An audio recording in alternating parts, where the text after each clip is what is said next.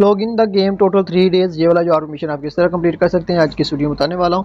लेकिन उससे पहले दोस्तों चैनल पर नहीं है तो प्लीज़ चैनल को सब्सक्राइब करके इस वीडियो को लाइक करें ताकि इस तरह की लेटेस्ट वीडियो आप लोगों को यहाँ पे देखने को मिलती रहे। तो यहाँ पे हमारे पास एक ऑप्शन मौजूद है जो कि आप लोग दे सकते हैं। Log in the game total three days ये वाला किस तरह मिशन करना है? बहुत आसान और सिंपल मिशन है सिक्सटी आर पॉइंट है, नहीं तो यहाँ से आर पी कार्ड आप लोग क्या वो यूज़ करके भी ईजिली जो मिशन है वो कंप्लीट कर सकते हैं।